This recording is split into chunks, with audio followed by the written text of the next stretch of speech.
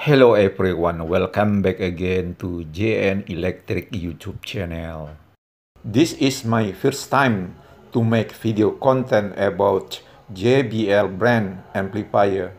Yes, it is true, JBL SA750. This integrated amplifier is sold at a price of 3000 US dollars.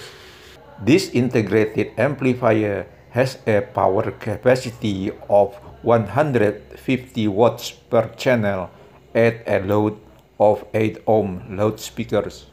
I will convey a more detailed description of the specification in the form of text in the, this video. The color of this integrated amplifier is usually silver. I have never seen this type in color other than silver, for example yellow or white or green or black. The input and output jack used by these units are RCA and banana jack, all of which can be obtained easy in the market. And now let's take a peek at what is inside this amplifier. What is the main unit like and what are the components used.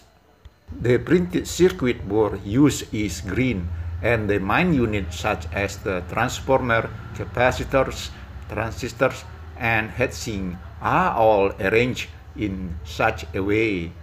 The PCB system used is not a through-hole, but used a double-layer PCB that utilizes SMD component.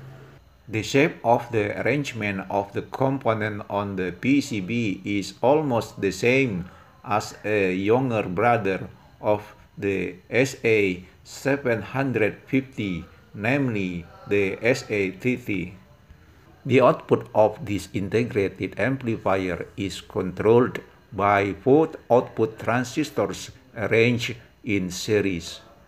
Integrated circuit IC convert analog to digital use is PCM4202, which a range of input and output port and USB port. Now you can enjoy the sound of music with one USB MP3. Maybe this is useful for you. I will present the function of the each button on the front panel and on the back. Hopefully you can follow the content and if you start buying a new one you can read about it or read about it in the another article. And one thing I need to remind you is that when the plug in the speaker cable into the speaker system, you should check again if there is a short circuit Incorrect speaker cable installation can cause damage or the sound produced is not as expected or uh, it might also is be possible that the bass sound produced is not optimal. The frequency response of this integrated amplifier range from 40 Hz to 40 kHz. This integrated amplifier worked in Class G model.